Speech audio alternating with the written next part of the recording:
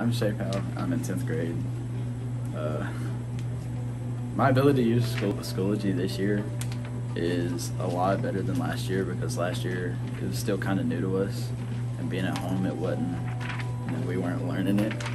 But this year it's a lot easier, a lot able to able to navigate it pretty well because you know we haven't been at home that much this year, so it's, it's pretty easy.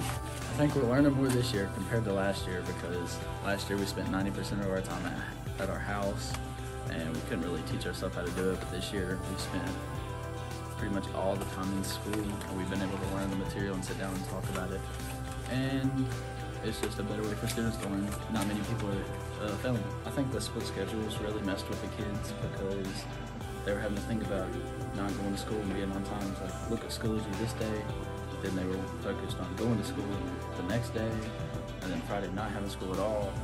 And it was just a lot thrown on the kids. The grades this year are like 10 times better than they were last year because last year, well, I had a bunch of stuff going on. I was constantly quarantined and stuck at home every every week, and uh, so didn't really I didn't really you know have the motivation to push myself. So they weren't that great. They're you know B, C, most mostly like D's on the F side.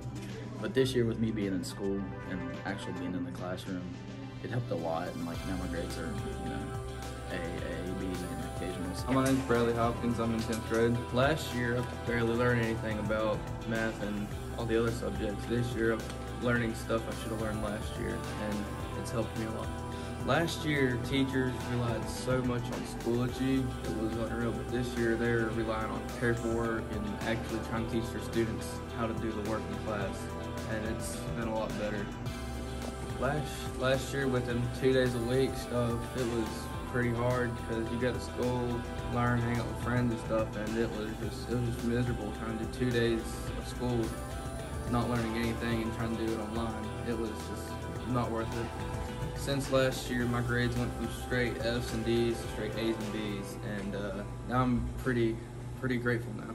Well, at ACT, we didn't have like an actual teacher. It was just like someone who assigned us work, and the work was like 10 questions a day, and it was just, you know, like simple math, and, you know, it just felt like different. Being social again, you know, because at ACT, you just seem like the same people every single day, stuff, and my close friends go here and they've got ACT, so, you know, it was, I didn't get to see them a lot. So you've all sat on that opportunity the last Right. couple of years. Yeah. Probably feel- I can, the teachers actually show me stuff that I can do, and it's just not like work that I have to do by myself. Anything else you'd like to add? Uh, So, that's so, all. get in the house. This is Groom here, Mr. Clay.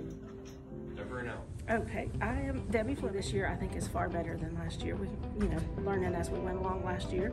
Last year, the blended schedule affecting socialization and learning, yeah, absolutely. um, it, it was a lot harder for teachers, for students, for everybody. And also the grades in my classes, I think, have gone up this year by everybody being back more. Hi, I'm Sean Hawkins, principal at Independence High School. From February, late February on, when students were released to be at home and on remote learning, total chaos. For students, just not being able to see them and not knowing if they were okay. Did they have the food they needed? Did they have shelter? Were they actually having an opportunity to log on and participate in classes? Lots of calls were made to parents just to verify that everyone was okay. Um, teachers and I would use Fridays um, as an opportunity to drive all through our district from Rodale on one end to Wyoming County on the other and uh, deliver packets to students who did not have special um, access to the internet. And then that way they could still work on their materials and we would pick those up the following week. Uh, teachers, it was very difficult for them to be used to a one-on-one for classroom teacher situation. Um, to be able to perform their lessons on Schoology as well as post the equivalent of their lessons plans and opportunities and making sure that students' IEPs were met, 504 plans, and all of the individual unique learning we typically do was a huge challenge.